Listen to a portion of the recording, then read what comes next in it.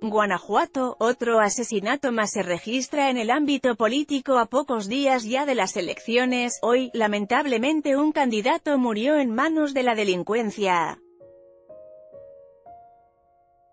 De acuerdo con SDP Noticias, Jesús Nolasco Acosta, candidato a regidor de León y coordinador de campaña de un aspirante a la Diputación Local del Distrito 7 por la coalición Juntos Haremos Historia, fue asesinado a balazos tras un asalto. El pasado viernes se informó que un cuerpo sin vida fue encontrado en la comunidad de San Juan de Abajo. Este presentó huellas de tortura y disparos de bala.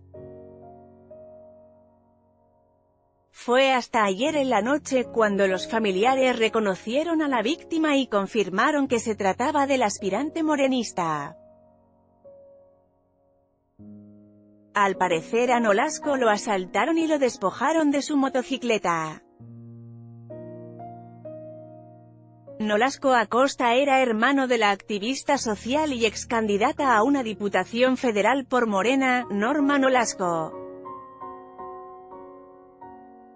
A través de redes sociales, el candidato a la gubernatura en Guanajuato, Ricardo Sefil, condenó el asesinato y exigió a las autoridades estatales brindar seguridad.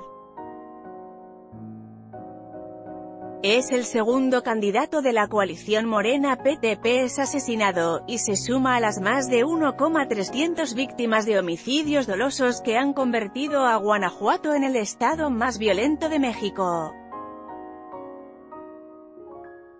Exijo al gobernador que cumpla su obligación de darnos seguridad a toda roba los guanajuatenses, publicó, en esta nota, homicidio candidato regidor Morena León Guanajuato asalto.